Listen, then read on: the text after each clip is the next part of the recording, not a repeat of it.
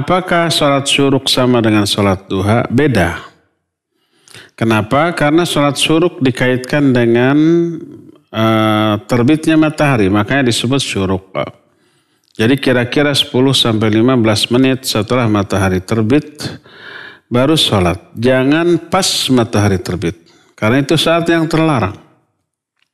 Itu pertama. Kedua, sholat syuruk dikaitkan dengan sholat subuh berjamaah bersama imam di masjid. Lalu berzikir setelahnya sampai matahari terbit. Setelah itu kemudian sholat dua rakaat.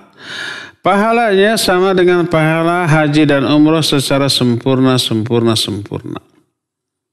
Jadi itu yang membedakan dengan sholat duha. Pertama itu dua rakaat.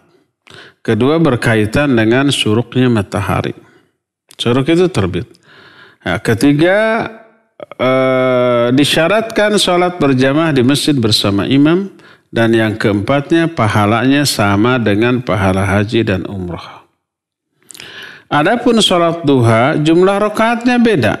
Ya, boleh dua rakaat sampai delapan rakaat. Dan itu tidak berlaku bagi sholat suruh. Kedua, tidak berkaitan dengan matahari terbit. Bahkan lebih utama dilakukan hampir menjelang duhur. Kalau duhur umpah jam 12 ya kita jam 11. Karena apa? Karena Nabi Shallallahu Alaihi Wasallam menyatakan sholatul awwabin. Awwabin itu sholat duha. Hina tarfadul fisal. Sholat awwabin atau sholat duha dilakukan ketika anak unta mulai kepanasan.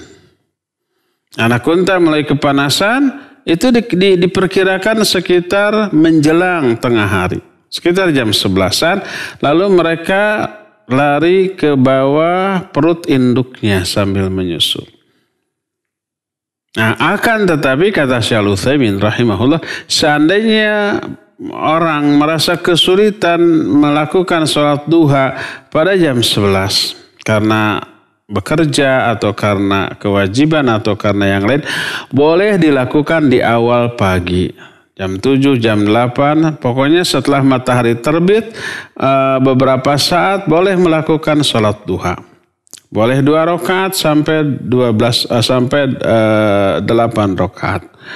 Dan itu waktunya sampai menjelang zuhur. Dan yang terbaik adalah seperti yang tadi diterangkan menjelang tengah hari. Tapi tidak sampai tengah hari. Tapi waktu terakhir untuk sholat duha ya tengah hari tersebut. Nah ini menunjukkan antara sholat syuruk dengan sholat duha dua sholat yang berbeda dan tidak sama.